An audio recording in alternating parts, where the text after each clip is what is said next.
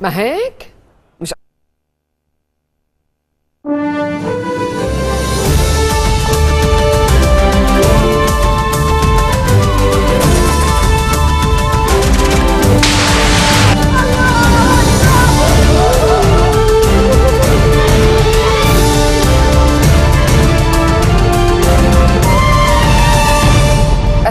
بعد الظهر بتوقيت بيروت تتابعون من الميدان من تلفزيون المستقبل نستهلها بالعناوين.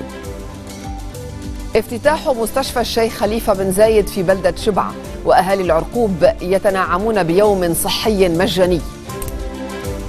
المشنوق على الحكومة أن تأخذ حساسيات جميع الأطراف بعين الاعتبار وأن تتعامل معها بروية لتمرير هذه المرحلة.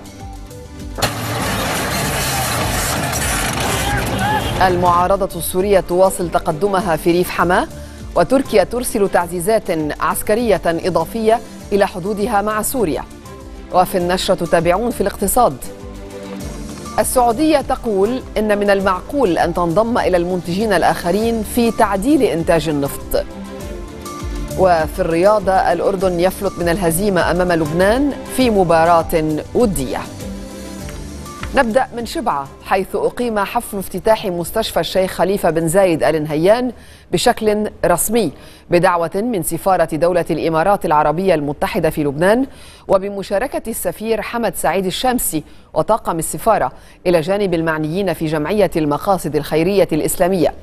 الافتتاح حضرته فعاليات المنطقة. وقد كانت كلمات أكدت على ضرورة وجود هذا الصرح الطبي في منطقة العرقوب التي استفاد آباؤها من المعاينة والمعالجة أبناؤها عفوا من المعاينة والمعالجة المجانية اليوم. تقرير ربيع شنطف. عمل دؤوب في مستشفى الشيخ خليفة بن زايد في بلدة شبعة بالتعاون مع مستشفى المقاصد. سبق موعد الافتتاح الذي ضربه السفير الإماراتي في لبنان حمد بن سعيد الشامسي. أي في الأول من أيلول.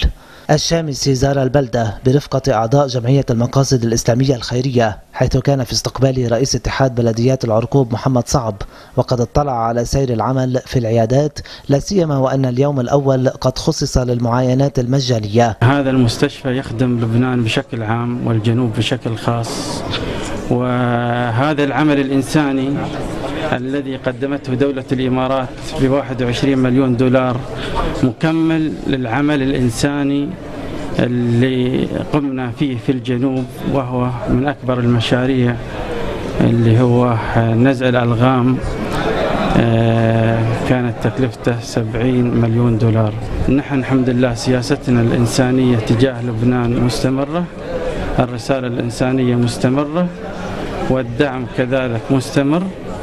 للشعب اللبناني.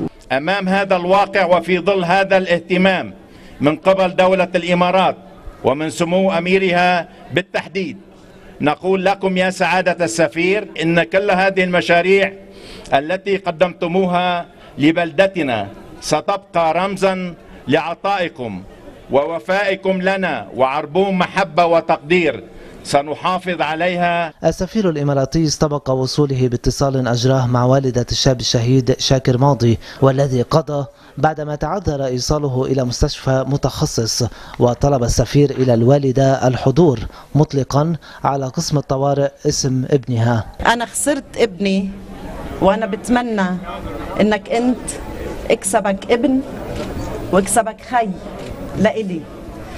أنا ما بنسى كل من ساهم وكل من سعى لهذا الصرح الكبير. وهيدا كمان عربون شكر من الشيخ سعد الحريري اللي ساهم كمان معنا بكل شيء. ألف وقبيل الاحتفال رفع السفير الشامسي ستار عن لوحة تذكارية وضعت في محيط مبنى الأطباء الذي يتم تشييده. وفي الختام أقام رئيس البلدية حفل غداء على شرف السفير والحضور. إنه اليوم الذي انتظره أهالي العرقوب طويلا وهم يشكرون كل من ساهم بفتح هذا الصرح الطبي الكبير ويأملون أن يحققوا المزيد من المطالب وأن تضع الدولة حدا لإهمالها لهذه المنطقة التي لا يزال جزء منها محتل. من أمام مستشفى الشيخ خليفة بن زايد في شبعة ربيع شنطف تلفزيون مستقبل. وزير الداخلية نهاد المشنوق وصف من دار الفتوى الوضع في البلد بحالة الضياع وأكد أن على الحكومة أن تتعامل مع جميع الأطراف بروية لتمرير المرحلة الصعبة. وضع وزير الداخلية والبلديات نهاد المشنوق زيارته لمفتي الجمهورية الشيخ عبد اللطيف دريان في إطار التشاور في التطورات السياسية الحاصلة والتي وصفها بحالة الضياع مشيرا إلى أن هذا التشاور هو ضرورة وطنية لأن المفتي قادر على تصويب الأمور في البلد ولصالح كل اللبنانيين عن طريق الاعتدال. المشنوق أكد أن أي كلام سياسي يأخذ طابع المواجهة يزيد الانقسام في البلد في ظل الأزمة الدستورية الحاصلة والوضع الاقتصادي المتردي مطمئنا إلى أن الوضع الأمني ممسوك من قبل الجيش والقوى الأمنية. هذه الحكومة اللي سمحته دائما بوصي بمزيد من تماسكها ومزيد من إنتاجها إنتاجيتها ومزيد من قدرتها على العمل وبمزيد من الالتفاف حول رئيس الحكومة. آه كمان بدها تاخذ بعين الاعتبار آه حساسيات كل الأطراف. والتعامل معها بهدوء وبروية وبدون حدة اللي بيساعد على تمرير المرحلة الصعبة اللي عم. الوزير المشنوق لفت إلى أن أسباب غيابه عن الجلسة الأخيرة لمجلس الوزراء سيضعها بتصرف رئيس الحكومة مؤكدا عقد جلسة الأسبوع المقبل في ظل معالجة الخلافات الحاصلة كما أشار إلى أن الأولوية هي لانتخاب رئيس للجمهورية اللي مطروح اللي مطروح بالنقاش الجدي والخلاف بالموضوع الحكومي هو عنواني. هل الأولوية للخلاف حول التمديد لقيادات عسكرية أو الأولوية لانتخاب رئيس؟ نحن موقفنا المبدئي من اللحظة الأولى أنه قائد الجيش أو مدير عام قوى الأمن الداخلي ما بيجوز يتعينوا قبل انتخاب رئيس الجمهورية وردا على سؤال حول مسألة جمعية حماة الديار أكد أنه أرسل هذه القضية إلى الأمانة العامة لمجلس الوزراء وسيتم وضعها على جدول أعمال أول جلسة للمجلس بسبب مخاطرها الأمنية واستفزازها للناس. أكد الرئيس فؤاد السنيورة أنه لم يشعر بأن تيار المستقبل هو المعني بلطشة رئيس المجلس النيابي نبيه بري حول الدلع السياسي ورفض أي اقتراح للتسوية من خارج الدستور. قائلا لصحيفة السفير سبق أن انزلقنا في الدوحة فكانت النتيجة سيئة.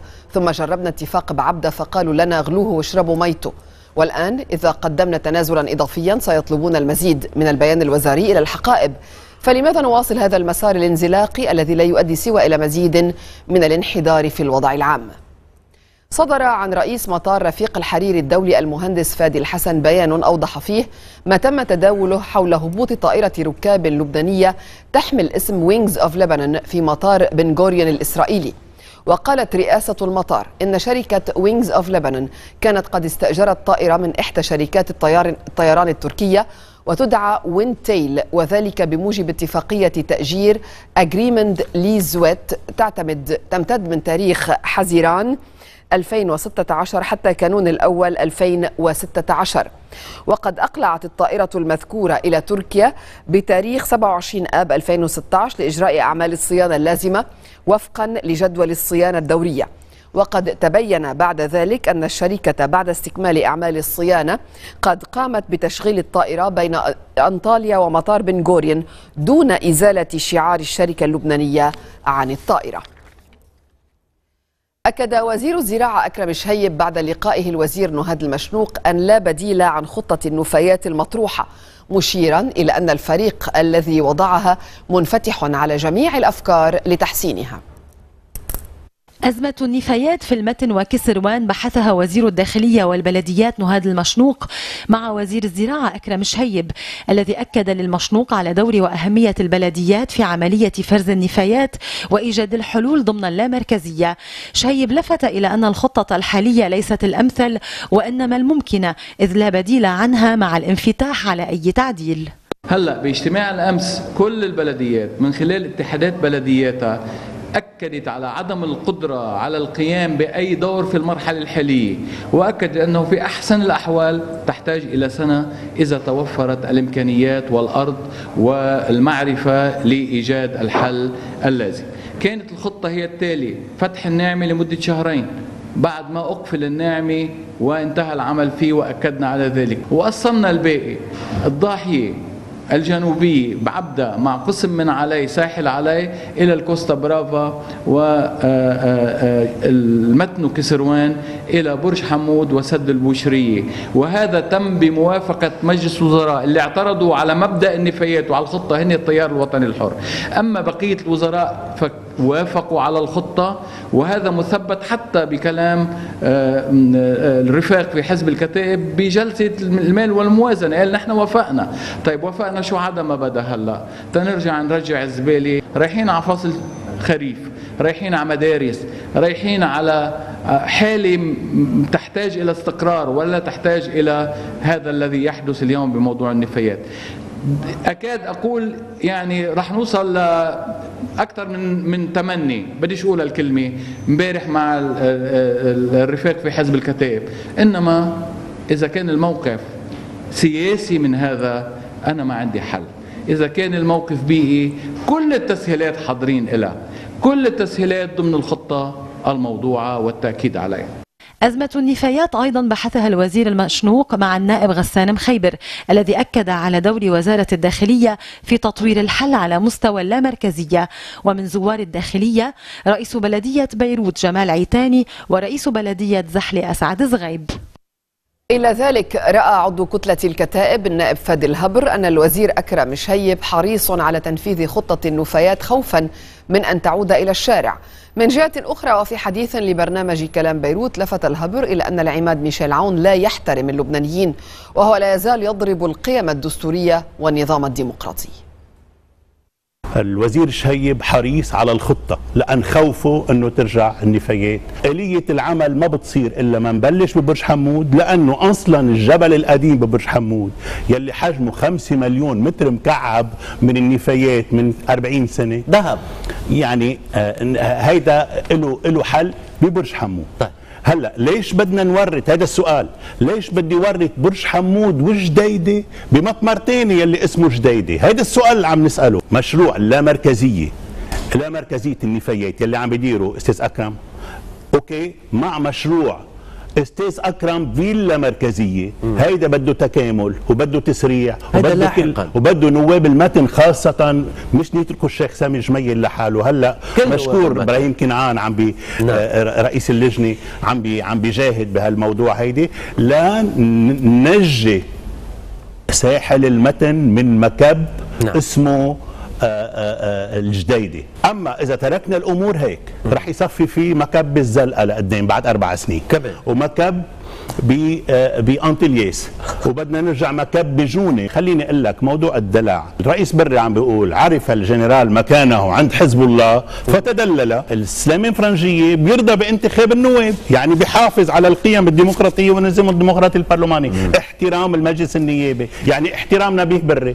لا الجنرال عون بده تعيين لا شايف النبيه بري ولا شايف النواب ولا شايف المجلس ولا شايف النظام الديمقراطي ولا شايف الشعب اللبناني ولا شايف الدستور. استكملت المعارضة السورية عمليات تحرير قرى ومدن ريف حمال خاضعة للنظام وميليشياته وحققت تقدما ميدانيا كبيرا لتصبح على مشارف مدينة حماة بعد سيطرتها على بلدة معردس وعلى كتيبة الصواريخ في البلدة. من جهة أخرى واستكمالا لعملية درع الفرات أرسلت تركيا تعزيزات عسكرية إضافية إلى حدودها مع سوريا.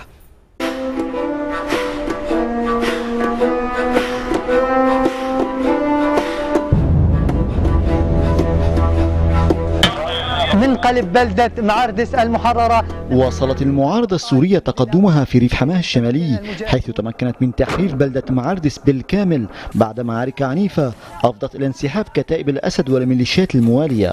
وسبقت تحرير البلدة سيطرة الثوار على حواجز عسكرية عدة إلى جانب تحرير كتيبة الصواريخ الروسية التي تقع على الزاوية الشمالية الشرقية للبلدة. هذا وتتحضر المعارضة لاقتحام جبل زين العابدين الاستراتيجي الذي يعتبر مركزا لقيادة العمليات والحرب.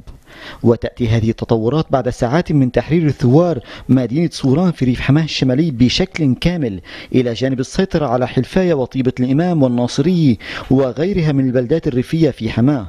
في المقابل استهدفت المقاتلات السورية بالقنابل العنقودية مناطق محررة في ريف حماة وارتكبت إحداها مجزرة بحق النازحين ما أدى إلى سكوت العشرات من القتلى والجرحى. وإلى حمص توصلت فصائل المعارضة في حي الوعر إلى اتفاق مع النظام على تثبيت وقف إطلاق النار ورفع الحصار عن الحي وخروج من يرغب من المقاتلين باتجاه مدينة إدلب وكذلك إجلاء المدنيين المحاصرين في الداخل. أما وكالة أعماق الناطقة باسم تنظيم داعش فأعلنت أن التنظيم سيطر على مواقع استراتيجية تقع شرق تلة اسوانة قرب الطريق المؤدي نحو حقول وشركة شاعر للغاز في ريف حمص الشرقي. وعلى الحدود التركية السورية عززت القوات المسلحة التركية من انتشارها في المناطق المحاذية لحدودها وأرسلت مزيدا من الدبابات والعربات المدرعة في إطار عملية درع الفرات. وبحسب مصادر عسكرية فأن التعزيزات تأتي دعما للوحدات العسكرية التركية المتمركزة على الحدود والمساعدة في نزل الألغام التي زرعها تنظيم داعش قبل مغادرته منها. هذا وبدأت وكالة إدارة الكوارث التركية العمل لإيصال مساعدات إلى جرابلس وإصلاح المخابز في المدينة التي تعاني من نقص في الخبز والمياه. أعلنت وسائل إعلام إيرانية مقتل عشرة عسكريين إيرانيين دفعة واحدة بينهم قادة كبار من ميليشيات الحرس الثوري في المعارك المستمرة مع جيش الفتح في مدينة حلب وريفها في أعلى كلفة بشرية تتكبدها إيران في سوريا منذ أشهر. ونعت وكالة فارس الإيرانية عشرة قتلى بينهم ضباط في ميليشيات الحرس الثوري. أبرزهم أحمد غلامي ومصطفى رشدبور خلال المعارك مع جيش الفتح بريف حلب في حين لم تحدد الوكالة زمن أو ظروف مقتلهم.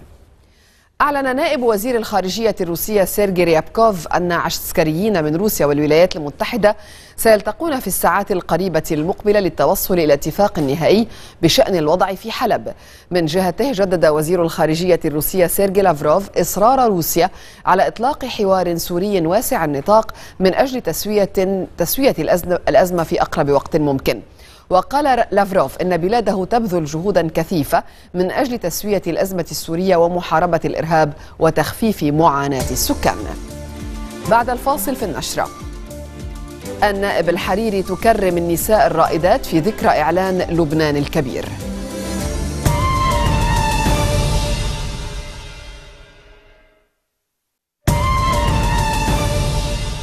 في مجلس النواب تكريم لنساء رائدات في الذكرى السادسة والتسعين لإعلان دولة لبنان الكبير. وللمناسبة أكدت النائب هي الحريري أن دولة لبنان الكبير تشكل تجربة إنسانية مهمة وهي تأسست على العلم والتكامل حتى أمس بلدنا منارة للعلم والمعرفة والحوار والشراكة الوطنية النموذجية. حدث نسائي بامتياز شهده مجلس النواب ضمن فعاليات المبادرة الوطنية لمئوية لبنان الكبير. برنامج لبنانيات 2020 لبنان وطن للمعرفة. فبرعاية رئيس مجلس النواب ممثلا برئيسة لجنة التربية النيابية النائب بهية الحريري أقيم حفل تكريم الرائدات في الإدارات العامة ورائدات جامعات البحث العلمي في لبنان وصديقات لبنان في المحافل الدولية. وذلك بحضور الوزيرة أليس شبطيني ممثلة رئيس الحكومة ووزراء ونواب وشخصيات سياسية واجتماعية وأكاديمية. النائب الحريري قالت أن دولة لبنان الكبير تأسست على العلم والمعرفة والتكامل بين الثقافات والديانات وانصهر الجميع في نموذج إنساني حضاري. فأمس لبنان منارة للعلم والمعرفة والحوار والشراكة الوطنية النموذجية. وأصبح مدرسة الشرق وجامعتها ومنبرا للحريات الفكرية والإبداعية.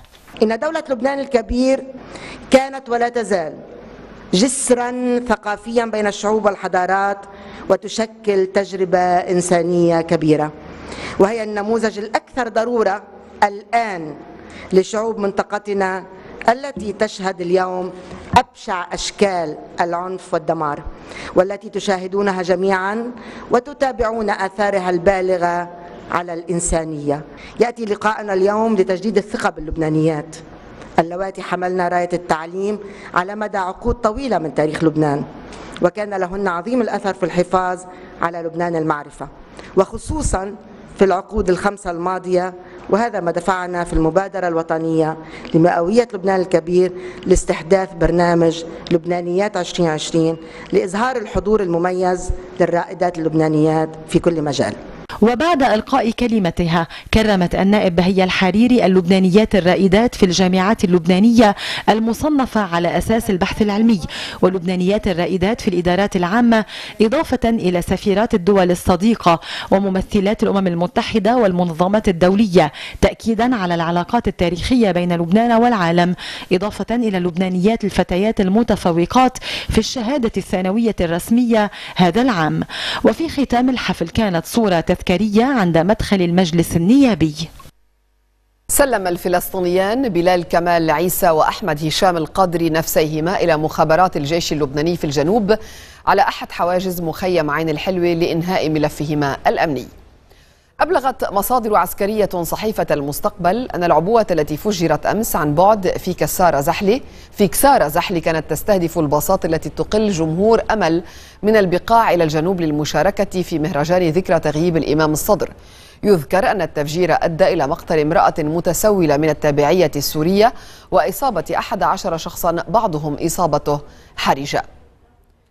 نفت قيادة الجيش مديرية التوجيه صحة المعلومات التي نشرتها إحدى الصحف العربية اليوم والتي قالت فيها أن مديرية المخابرات في الجيش قد أبلغت شخصية وزارية لبنانية بضرورة اتخاذ إجراءات الحيطة والحذر لوجود تهديدات جدية تستهدف شخصيات سياسية لبنانية. ملف الخلاف حول ملكية ما يسمى مشاعات العاقورة كان محور لقاءات البطريرك الماروني مار بشارة بطرس الراعي وقد تسلم من وفد من بلدية البلدة جميع الأوراق القانونية لمشاعاتها منذ عهد المتصرفية. كما استقبل منسق الأمانة العامة لقوى الرابع عشر من أذار فارس سعيد وبحث معه كيفية إدارة الأزمة التي بدأت تبرز في جرد جبيل بدءا من اعتداءات ليسا وصولا إلى محاولة تبدل الهوية العقارية لمشاعات العقورة بموجب المذكرة الصادرة عن الوزير علي حسن خليل. وتمنى سعيد على البطريرك أن يكون لمجلس المطارنة موقف واضح حول ضرورة تطبيق القانون في ليسا بعيدا عن التسويات والمطالبة بإبطال المذكرة الإدارية بحق العقورة عشية زيارة الراعي إلى المنطقة في العاشر والحادي عشر من أيلول. لأول مرة آثار تعود إلى العصر الفينيقي تم التنقيب عليها في مدينة صيدا القديمة. هذه المكتشفات الأثرية تعود إلى القرن الحادي عشر قبل الميلاد أي إلى الحقبة الفينيقية التي لا تزال معالم تاريخها ضئيلة الاكتشاف حتى اليوم. ففي هذا الموقع المعروف بالفرير الأثري في مدينة صيدا القديمة تم التنقيب عن معبد مصغر يعود إلى ما قبل نحو ألفي سنة بالإضافة إلى محارق بخور وأواني طعام تتكلم عن تلك الحقبة. ومن خلال هذا الموقع الأثري الذي تشرف عليه بعثة المتحف البريطاني منذ 18 عاما يجري وضع أساسات متحف صيدا الأثري المزمع إنشاؤه ليضم كل مكتشفات الحقبات الماضية. يعني فيني أقول نحن عم نشوف نوع من الذهول. بس بس بنفس الوقت نحن فرحانين إنه بلدنا يعني آه، غنية بالتاريخ آه، وبالحضارة. ونحن عم نركب تاريخ هون بصيدا يلي منه معروف قبل على هالشاطئ اللبناني. هيدا تاريخ لبنان يلي ما كان معروف ابدا قبل. وهيدا أهمية هالموقع وأكيد كل هالقطع رح تكون بالمتحف. متحف مهم جدا جدا لأنه عنا آه، يعني تصوري أنه هل أهمية المتحف أنه فيك تعرفي أنه مثلا هالمعلقة اللي جاية من مصر بتفهمي أنه في علاقات مع مصر بالعصر الحادي عشر. هذه المكتشفات بحسب سرحال ستساعد على تركيب قصة اكتشاف التاريخ الفينيقي وتراتب حقبات الحضارات التي شهدتها مدينة صيدا. نشرتنا مستمرة وفيها بعد الفاصل. مجلس الأمن يناقش الخطة الأممية لحل الأزمة اليمنية.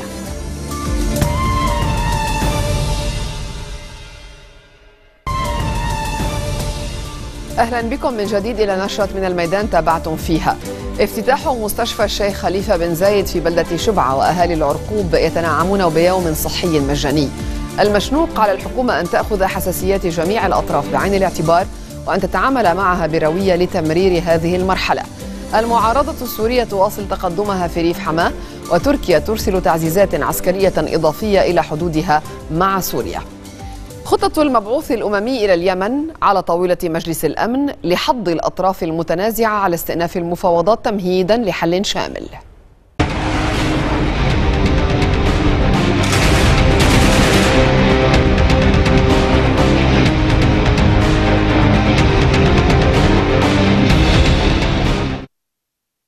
يناقش مجلس الأمن الدولي مشروع قرار يدعم خطة المبعوث الأممي إلى اليمن.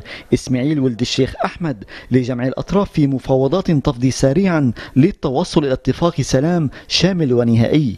وبحسب مسودة المشروع التي قدمتها بريطانيا تنص على أن أي ترتيبات سياسية جديدة يجب أن تكون نتيجة لاتفاق يأتي بعد مفاوضات برعاية الأمم المتحدة وليس نتيجة لإجراء أحادي من أي طرف. ويحث المشروع جميع الأطراف على الانخراط فورا في المفاوضات بنية حسنة وعلى أساس المقترح الذي قدمه المبعوث الأممي حول اتفاق شامل يغطي القضايا السياسية والأمنية كافة. ميدانيا اندلعت اشتباكات عنيفة بين عناصر ميليشيات الحوثي والمخلوع صالح من جهة والمقاومة الشعبية والجيش الوطني من جهة أخرى في جبل المنعم والتبة السوداء في منطقة الربيع وفي محيط جبل الهان غرب مدينة تعز. وتزامنت المواجهات مع قصف عنيف وعشوائي بالمدفعية والدبابات على مواقع المقاومة والجيش الوطني في جبل الهان والضباب. وكانت قوات التحالف قد كثفت هجماتها على مواقع تحت سيطرة الميليشيات الحوثية والمخلوع صالح لا سيما الكلية الحربية ومواقع قرب مطار صنعاء ومواقع أخرى للمتمردين في مديريتي باقم وكتاف في محافظة صعدة. في غضون ذلك أقلعت أول رحلة للخطوط الجوية اليمنية من مطار عدن إلى مدينة جدة السعودية وتعد هذه الرحلة المدنية الأولى من اليمن إلى المملكة العربية السعودية منذ بدء الحرب وكان على متن الطائرة 128 مسافرا بعدما أعلنت الخطوط الجوية اليمنية استئناف رحلاتها من السعودية وإليها. أعلن الرئيس التركي رجب طيب أردوغان توقيف 3495 قاضيا ومدعيا عاما لتورطهم بمحاولة الانقلاب التي أفشلتها البلاد منتصف تموز الفائت. وخلال افتتاحه العام القضائي الجديد أشار إردوغان إلى أن ذلك لا يضعف جهاز القضاء بل سيساهم بتأسيس عدالة حقيقية منتقدا وقاحة بعض الدول التي أبدت خشيتها من إجراءات تركيا ضد الانقلابيين. أضاف أن تركيا لم تطلب قتل الانقلابيين بل قالت قبضوا عليهم وقدموهم للعدالة لمحاسبتهم على فعلتهم. كشف رئيس المنظمة الإيرانية للطاقة الذرية علي أكبر صالحي أن بلاده ستبني مفاعلين نوويين جديدين بمساعدة روسيا في محطة بوشهر. وقال صالحي أن أعمال البناء ستبدأ في العاشر من أيلول الجاري وستستغرق عشر سنوات مضيفا أن إيران ستدخر 22 مليون برميل نفط في العام ببناء هذين المفاعلين الجديدين موضحا أن كلفة المشروع تقدر بعشرة مليارات دولار. أعربت الولايات المتحدة عن قلقها من الخطط الإسرائيلية الجديدة والقاضية ببناء مئات الوحدات الاستيطانية في الضفة الغربية المحتلة. ونقل المتحدث باسم وزارة الخارجية الأمريكية جون كيري انزعاج كيربي عفوا انزعاج بلاده من سياسة الموافقة بأثر رجعي على وحدات ومواقع استيطانية غير مرخصة واعتبر هذا هذا الأمر غير قانوني بموجب القانون الإسرائيلي محذرا من أن هذه السياسات تعطي فعليا للحكومة الإسرائيلية ضوءا أخضرا لتعزيز الأنشطة الاستيطانية بطريقة جديدة قد لا تكون محدودة. توعد المرشح الجمهوري للرئاسة الأمريكية دونالد ترامب مرة جديدة بطرد ملايين المهاجرين غير الشرعيين من الولايات المتحدة بعد ساعة واحدة من توليه منصب الرئيس. وبعد زيارة مفاجئة إلى المكسيك استمرت ساعات عدة قال ترامب جدد عزمه على بناء جدار مع المكسيك التي سيلزمها بدفع تكاليف بناء الجدار الذي سيفصلها عن الولايات المتحدة ويبلغ طوله ثلاثة ألاف كيلومتر. أدى اللبناني الأصل ميشيل تامر اليمين الدستورية كرئيس للبرازيل بعدما أقال مجلس شيوخ الرئيس ديلما روسيف الأمر الذي أدى إلى توتر العلاقات مع فنزويلا وبوليفيا والإكوادور وكوبا Michel Temer no cargo de presidente da República. رسميا بات نائب الرئيس البرازيلي من أصل لبناني ميشيل تامر رئيسا لأكبر دولة في أمريكا اللاتينية وخامس أكبر دولة في العالم من حيث عدد السكان لتنتهي بذلك 13 سنة من حكم اليسار للبرازيل. جاء ذلك بعدما صوت مجلس الشيوخ على عزل الرئيس دلما روسيف بغالبية 61 صوتا من أصل 81 بتهمة التلاعب بالميزانية بشكل غير مشروع لإخفاء العجز المتنامي في البلاد ولكن من دون أن يحرمها من حقوق حقوقها المدنية ما يعني السماح لها بتولي مناصب حكومية. تامر وهو في الخامسة والسبعين من عمره يمارس مهام الرئاسة بالنيابة منذ الثاني عشر من أيار الفائت. تاريخ تعليق مهام روساف التي وصلت إلى سدة الرئاسة للمرة الأولى في العام 2010 وأعيد انتخابها في العام 2014 أولى مهامه الرسمية ستكون في الصين التي سيتوجه إليها لحضور قمة مجموعة العشرين وهو أكد في خطابه الأول بعد أدائه اليمين الدستورية افتتاح عهد جديد من عامين وأربعة أشهر حتى موعد الانتخابات الرئاسية والتشريعية المقبلة نهاية العام 2018 كما اعتبر أن الوقت حان لتوحيد البلاد متعهدا بالعمل على إنقاذ الاقتصاد الذي يعاني من الركود. عزل روساف أشعل الشارع البرازيلي حيث شهدت مدينة ساو باولو أكبر مدن البلاد تظاهرات احتجاجية سرعان ما تطورت إلى اشتباكات مع الشرطة. كما ترددت أصداء الإقالة في الدول المجاورة التي تحكمها أحزاب يسارية والتي وصفت عزل الرئيس البرازيلي بالانقلاب. فردت حكومة الرئيس ميشيل تامر باستدعاء سفراء البرازيل من فنزويلا والإكوادور وبوليفيا للتشاور. تحول الإعصار مادلين إلى عاصفة مدارية مع تحركه نحو بيج آيلاند في هاواي. وتأهب السكان لهبوب رياح عاتية وهطول أمطار غزيرة فيما واصلت عاصفة أخرى مسارها نحو ولاية فلوريدا. نصل إلى الاقتصاد نتابع بعد الفاصل. الخطوط الجوية البريطانية تبدأ بتسيير ست رحلات أسبوعيا إلى طهران.